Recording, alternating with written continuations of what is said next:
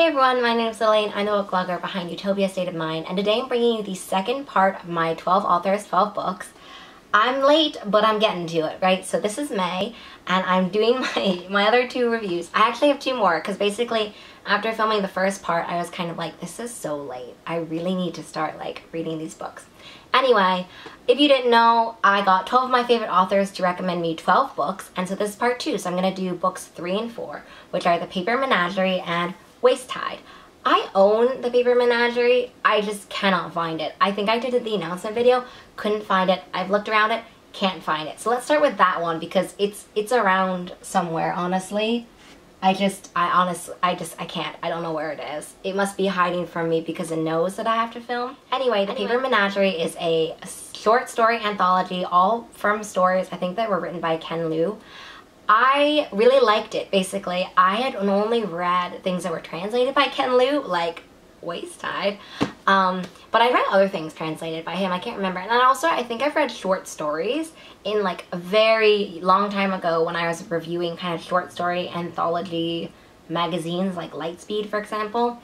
So it was really fun to see all of these stories kind of put together. And what I really liked about it was at the very beginning, Ken is talking about how it features some of like the top stories, but also stories that he wishes could have gotten more attention. And I thought that was really cool, this idea that you can, when you're making these anthologies, you can kind of retrospectively be thinking about, oh, these are stories that I really love and these are kind of my hit stories, my prolific stories, but then what stories did I want more attention for? I think about this all the time with book reviews and TikToks and bookstagram photos, kind of things that perform well versus things that I wish perform better. So that's part of the reason why I love Paper Menagerie, but also from the very beginning, you can tell that there's so much behind it. You, I, I wish that some of my favorite stories from the Paper Menagerie were kind of stretched out into full-length books because I could spend so much time in them it was just clear in every story that there was so much thought put into this world and into these idea. There were a few that were my favorites and a few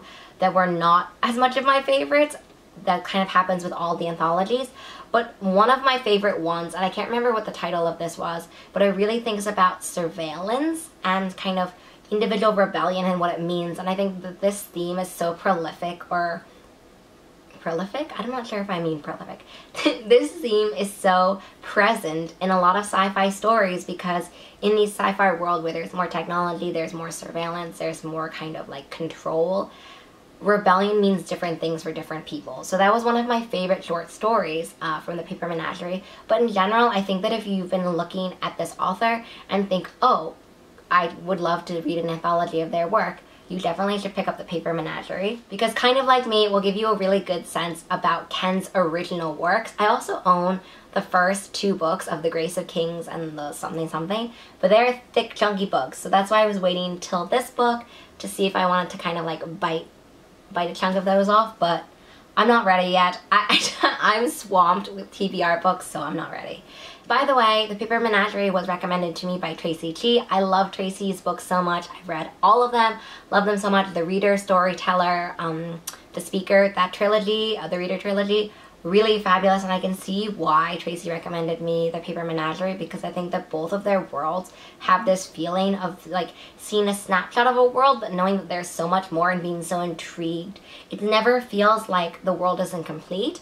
It always just feels like I see a world and I would love to know more but not in a lacking way but in kind of like awe-inspiring way. The next one is Waste Tide. Waste Tide was recommended to me by R.F. Kuang who wrote the Poppy War, The Burning God, The Dragon Republic, Babel, all of those fabulous books which have torn my heart out and just also been so thought-provoking. And that is how I felt about Waste Tide.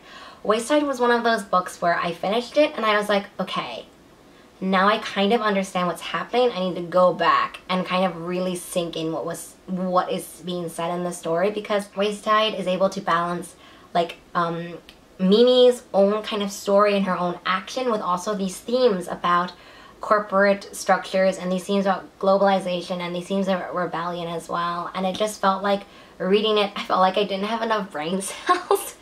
so one, I, it was one of those books where I finished it and I was kind of like, yes, I should go back and reread this because once I had the plot down, I wanted to go back and reread it because I thought even from a premise perspective, this idea about like our electronic waste going to another place, too true, basically, too close to real life, but also that in that other place, there's also these cultures and these people that are going through all of their different issues as well, and kind of the electronics almost coming back to life and being embodied in another way. It just, all of it, all of this felt so kind of brain exploding.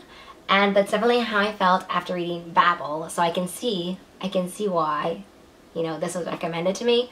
But it was just one of those books where I finished it and I just wanted to like sink into it. You know, where you, one of those books where you finish it and you want to just kind of hibernate a little bit with it. That's how I felt about Waste Tide.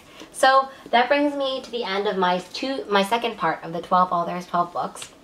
I am now on track because I'm about to film the third part. I'm now on track for it. I've read seven books out of 12 because I'm going to be going on vacation in the summer and I knew that I wasn't going to be able to read. Um, so I'm now on track. Uh, and so I'll be able to hopefully stay on track and finish this because that's my goal to just finish this project. So I hope you've enjoyed. If you've read either of these books, please let me know. If you've read The Grace of Kings, please let me know. Maybe give me like a little push to read it um, because it, it, it, it's a thick book, okay? I will see you in the next one. I hope you have a really great day. Bye.